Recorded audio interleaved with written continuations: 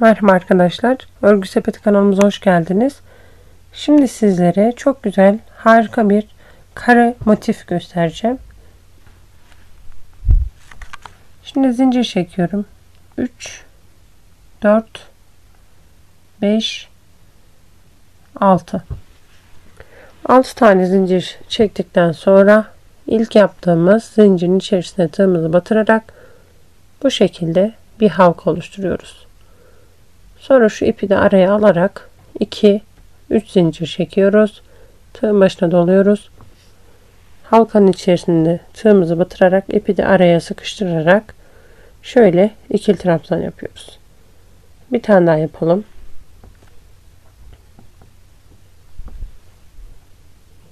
Toplamda 3 tane yapmamız lazım. Şöyle bakıyoruz zincirle beraber 4 olmuş. Onun için bir tanesini tekrar söktüm. 3 tane oldu. Daha sonrasında 1 2 zincir çekiyorum. Tığın başına doluyorum. Halkanın içerisinden yine ikili trabzan yapıyorum. 2 3 3 tane trabzan yaptım. Sonra yine 2 tane zincir çekiyorum. Tığın başına doluyorum.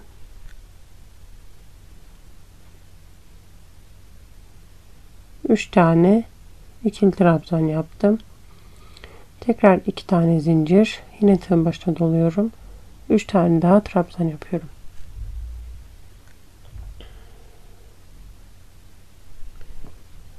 Sonrasında iki zincir çekiyorum. Ve bu şekilde ilk yaptığımız o üç zincirin üçüncü zincirin içerisinden bu şekilde birleştiriyorum. Sonrasında bir zincir çekiyorum ve ipimi kesiyorum. Bu şekilde ilk sıramızı bitirmiş olduk. Devamında farklı bir renk ip kullanacağım ben.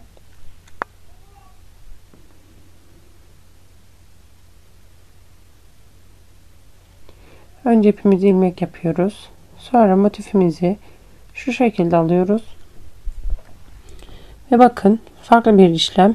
Şu trabzanın kendisini şöyle şu şekilde arkadan almış oluyorum. Şöyle önce ipimi sabitliyorum sarı ipimi. Sonrasında 1 2 3 zincir çekiyorum. Tığın başına doluyorum. Tekraren bakın şu trabzanın kendisini yani tam trabzanın içerisinden şöyle arka tarafından şu şekilde yine ikili trabzan yapıyorum. Şu ipi şöyle arka tarafa çekelim.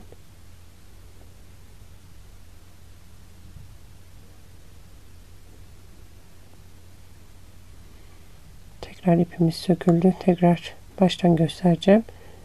Bakın şöyle trabzanın kendisini şu şekilde alarak ikili trabzan yapıyorum. Başlarda zor gelebilir ama alıştıkça daha kolay olacaktır. Kolay, kolaylaşacaktır. Bakın şöyle üçüncü trabzanı da aldık. Ve bakın trabzanın üzerinde böyle sarı çizgiler oluşacak. Sonrasında iki zincir yaptığımız yere önce bir trabzan yaptık. İkinci trabzanımızı yapıyoruz ve sonrasında bir iki zincir çekiyoruz. Tığın başına doluyoruz. Aynı yere iki zincirin olduğu yere yine ikili trabzan yapıyoruz. Bu şekilde aynı yere dört tane yaptık. Sonra bakın şu alttaki 3 trabzanın olduğu yere biraz önceki yaptığımız işlemi tekrarlıyoruz. Yani trabzanın kendisini alıyoruz. ikili trabzan yapıyoruz üzerine.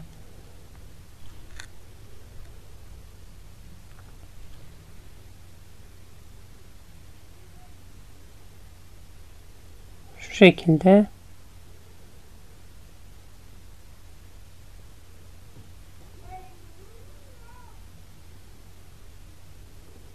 Bakın böyle oldu.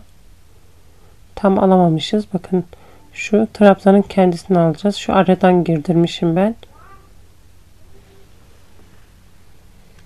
Yaparken bunlara dikkat edelim.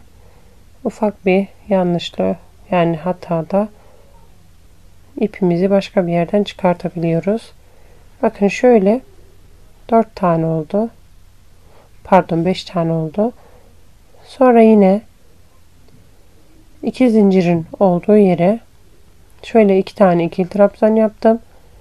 iki tane zincir çekiyorum. Tekrar tığın başına dolayarak aynı yere yine ikili trabzan yapıyorum.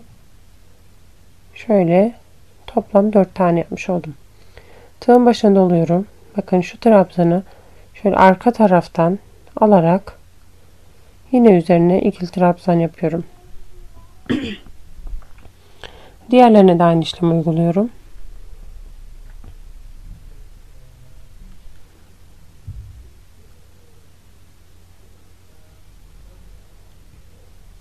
Bakın şöyle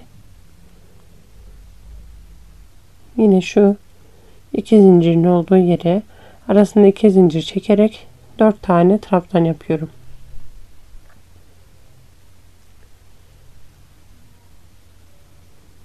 Yine tığın başına doluyorum. 3 tane trabzanım kaldı zaten. Bunların da üzerine arka tarafından tığımı batırarak trabzanın kendisini alıyorum ve üzerine bakın şurada ip sarı ipe takılıyor. Şöyle çıkartayım.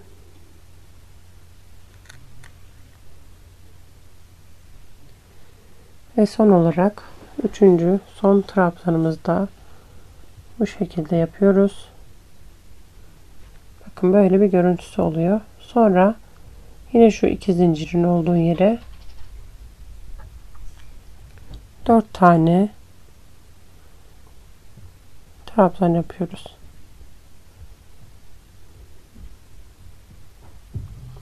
Sonra da başladığımız 3 zincirin tepesine bu şekilde sabitliyoruz. Ve böylece de ikinci sıramızı tamamlamış olduk. İpimizi kesiyoruz. Bakın bu şekilde bir görüntüsü var. Arkası böyle. Bu iplerimizi sonradan gizleyebiliriz. Görüntü çok farklı ve muhteşem bence. Çok hoşuma gitti benim yaparken zevk aldım. Şimdi bakın şuradaki 1, 2, 3, 4, 5, 6, 7. 7 tane trabzanımızın üzerine tekraren aynı işlemi yapacağız. Yani yine farklı bir renk ipimizi şöyle sabitliyoruz. Arka taraftan trabzanın kendisini alarak.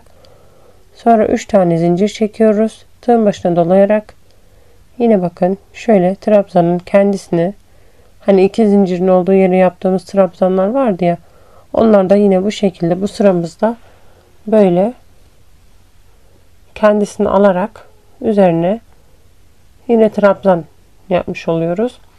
Ve alttaki trabzanın üzerinde bir çizgi oluşuyor ve sanki üzerine farklı bir renk iple zincir çekilmiş gibi bir görüntü veriyor. Böyle yaptığımız zaman trabzanın üzeri bir çizgi halinde olmuş oluyor.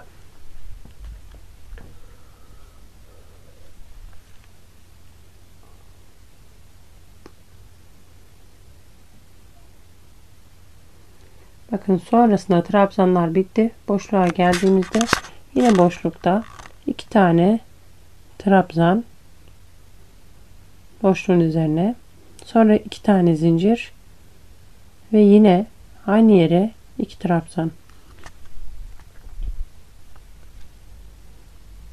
Daha sonra tığın başına doluyoruz ve bu sefer yine diğerlerinde olduğu gibi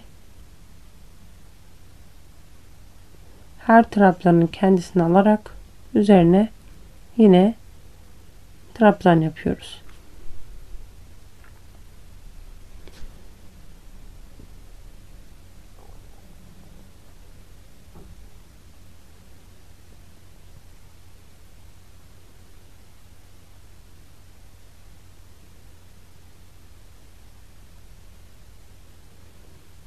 Trabzanlarımızı bitirdik. Ve yine boşluğun üzerine 4 tane trabzan yapacağız. Bakın bu sıramızda bu şekilde oldu. 1, 2, 3, 4, 5, 6, 7, 8, 9, 10, 11. 11 tane trabzanımız oldu. Diğerlerine de aynı işlemi uygulayarak bitirelim. Şimdi etrafını çevirdik. En son yine şu köşeye 4 tane trabzan yapıyoruz. 2 zincir çekiyoruz arasında.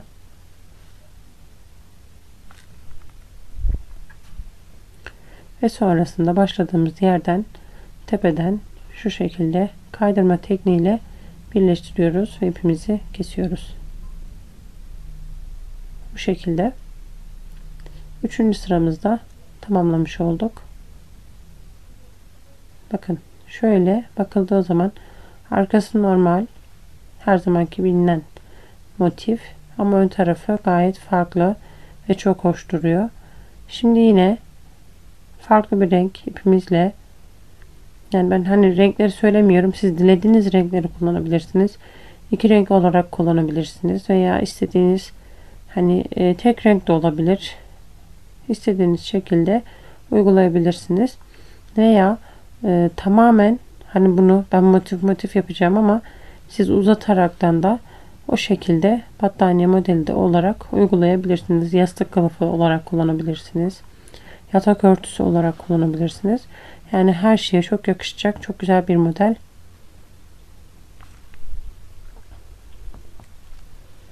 Bakın yine şu boşluğun üzerine geldiğimizde şöyle sanki bu e, boşluğa yaptıklarımız fıstık görüntüsü vermiş oluyor. Kenarlarda böyle köşelerde çok güzel bir görüntüsü oluyor. Şimdi diğerlerini de aşağıda yaptığımız işlemin aynısını bu sıramızda da uyguluyoruz. Böyle şu sonuna kadar gelelim. Bakın bu şekilde oldu. Bakın şurası şöyle düz oluyor ve e, biraz daha kalın duruyor arkadaşlar. 1 2 3 4 5 6 7 8 9 10 11 12 13 14 15 15 tane bu şekilde trabzanlarımız olacak kenarlarda. Ve bunu bu şekilde tamamladık. Bakın gayet kalın. Şurası dokusu harika. Yani gerçekten dokunmanızı hissetmenizi hani mümkün olsaydı bu şekilde gösterirdim size. Çok hoşuma gitti dediğim gibi yaparken. Yani böyle zevk aldım. Bu şekilde motifler yapacağız arkadaşlar. Şimdi ben şöyle iki tane yaptım. Bu iki tane motifi nasıl birleştireceğiz? Veya işte tamamen battaniye olduğunu düşünelim. Yani iki motiften battaniye de olmuyor da hani ben size göstermek için yaptığım için çok fazla uzatmadım. Ama hani siz ne kadar seviyorsanız boyutunun ne kadar uzunluğa kısa olmasını istiyorsanız ona göre motiflerinizi sayarak ayarlayabilirsiniz. Şimdi şöyle şu kenardan birleştireceğiz. Birleştirme tekniğimiz de çok farklı arkadaşlar. Dikkatli olalım. Şimdi bakın şöyle köşeye 3 tane zincir çektim. Ve buradan tığımı çıkartıyorum. Köşeye tekrardan karşıdaki motifin köşesinden bu şekilde tığımı ilmeğimi çekiyorum. Ve sonra devam ediyorum. Bakın aşağıda yaptığımız işlemin aynısı ama diğer motife birleştirme işlemi yapıyoruz. Böyle trabzanın kendisini alıyoruz. Üzerine ikili trabzan yaptık. Sonra ilmeği çıkartarak karşıdaki motifin de aynı şekilde trabzanın kendisini alarak şöyle tığ yardımıyla ilmeği çekiyoruz. Bu şekilde. Sonra yine tığın başına doluyoruz. Trabzanın kendisini alarak arka tarafından şöyle iki trabzan yapıyoruz. İlmeği tığımızdan çıkartıyoruz. Karşıdaki motifin sırasına denk gelen yere şu şekilde motifimizi birleştirmiş oluyoruz. Ne yapıyoruz? Trabzanın kendisini alıyoruz yine.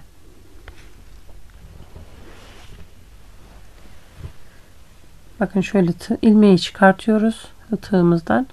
Sonra tekrardan karşıdaki trabzanı alarak ilmeği tekrardan tığımızı takıyoruz. Ucu kancalı olduğu için yani biraz daha kolay çekmiş oluyoruz. Tabi bazen böyle takılabiliyor. Sonrasında yine aynı şekilde önce bu taraftaki motiften trabzanın kendisini alıyoruz. ilmeği çıkartıyoruz. Sonra karşısındaki motifin trabzanını alıyoruz. Yine arka tarafından şöyle kaydırarak birleştirmiş oluyoruz. Dediğim gibi farklı bir teknikle birleştirme işlemi var. Ama illaki böyle yapacaksınız diye bir kayda yok. Ne yaparsınız? Normal bildiğiniz motif birleştirme tekniklerini uygulayabilirsiniz. Ama bence bu motifin hakkı bu. Bu şekilde birleştirilmesi daha uygun. Bunu sonuna kadar uygulayalım. Bakın şöyle birleştirmiş olduk. Şöyle arka tarafı bu şekilde ön taraftan da böyle durdu. Sonrasında son olarak son bir trabzanımızı şöyle geçiriyoruz. Sonra boşluğun üzerine yine bir tane trabzan alıp yine boşluktan bu şekilde geçirerek zincirimizi çekiyoruz. Şöyle trabzan yapsak olmayacak. Devam etmiyoruz çünkü. Bu şekilde motiflerinizi birleştirebilirsiniz. Ve bakın bu şekilde şöyle esnek bir model oldu. Bakın şöyle arka taraf böyle ön tarafı. Şimdi bunu mesela battaniyemizi bitirdiğimizi düşünelim. Kenar motifini tabi böyle de çok hoş duruyor. Herhangi bir işlem yapmanıza gerek yok da diyelim ki yapmak istiyorsanız böyle önce köşeye ipimizi sabitliyoruz. Sonra da her trabzanın üzerine yine şöyle sık iğne şeklinde yani sık iğne yapmış oluyoruz. Şu köşeye kadar bir gelelim.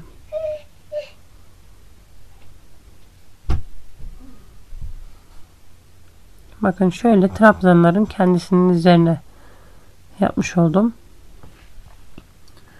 Tam şu birleştirme noktasındaki yere iki tane sık iğne yaptım. Sonra diğer köşeye gel geldim.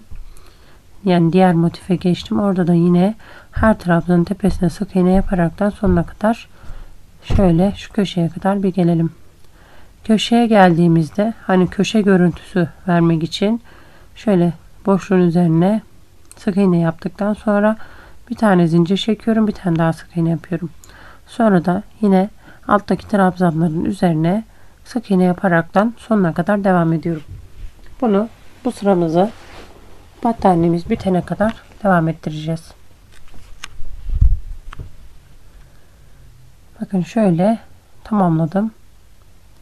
Görüntüsü böyle oldu. Şimdi üzerine bir sıra daha yapacağız yani bu e, yapacağımız teknikle bu battaniye modelini hem kızda hem de erkekte rahatlıkla rahatlıkla kullanılabilir. Veya dediğim gibi hani e, televizyon örtüsü olarak hani e, üzerimize almak için battaniye küçük diz battaniyesi olarak kullanabilirsiniz. Şimdi bakın arkadaşlar ipimizi sabitledikten sonra şöyle iki tane alttan sık iğne atladıktan sonra üçüncü sık iğnenin üzerine şöyle ikili trabzan yapıyoruz. Dördüncüyü yaptık.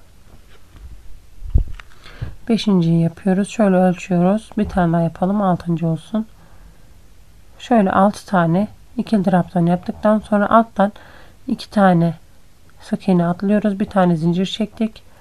Ve bu zincirimizi yine sık iğne ile sabitliyoruz bir tane zincir çekiyoruz. Alttan iki tane sık iğne atlayarak ikili trabzan yapıyoruz.